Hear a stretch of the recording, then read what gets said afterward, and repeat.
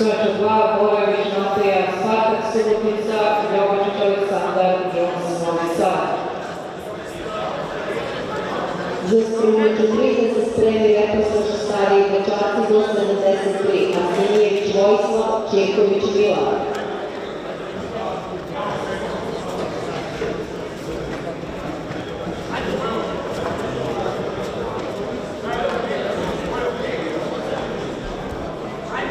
Za Sveća pobedio je Sava i Dugović Kać. Bejca Đebejković, Zijak Dupnin, Šapić, Lazar, Nisnik za judo. Na Sveća dva pobedio je Benković, Leon, Mladost Bečej.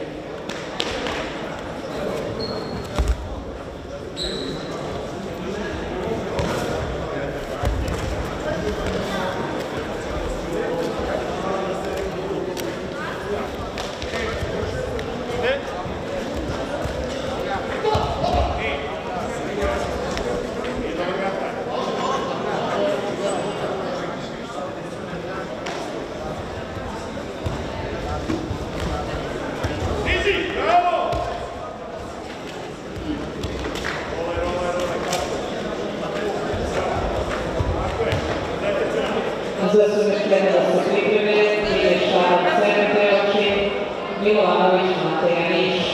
Za sumešljene da se pripreme, Stari dečaci Boš, 76 kg, Titavac Jovan Slavija, Nemanja.